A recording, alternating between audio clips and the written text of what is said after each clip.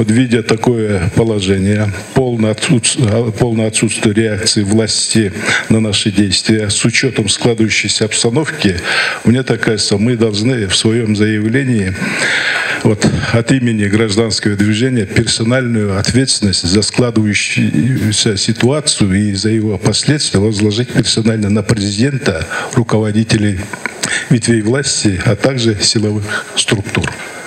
Почему? Потому что наше обращение президенту, правительству, Джорк Кенеш, Генеральной прокуратуре, другим силовым структурам остались абсолютно без никакого ответа.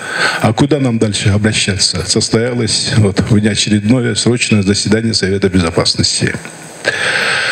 И, насколько я знаю, вот по данным средств массовой информации, о нашем обращении, о фактах, которые происходят в нашей жизни, связанные с выборами, не изложенные материалы, ни другие моменты абсолютно никакой реакции ни одного члена Совета Безопасности не вызвали.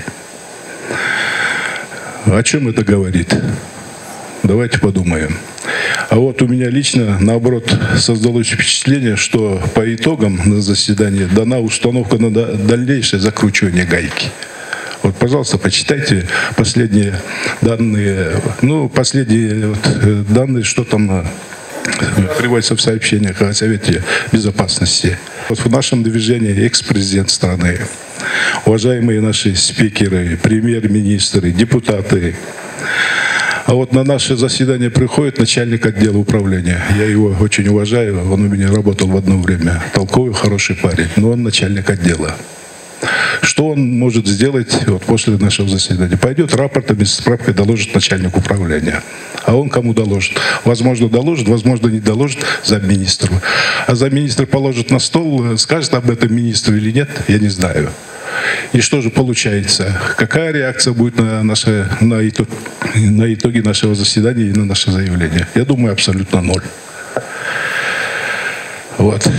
И я думаю, вот таким образом, по всей видимости, наши ну, руководители государства показывают ну, на наше место, кто с нами может разговаривать, как они будут реагировать на наши предложения.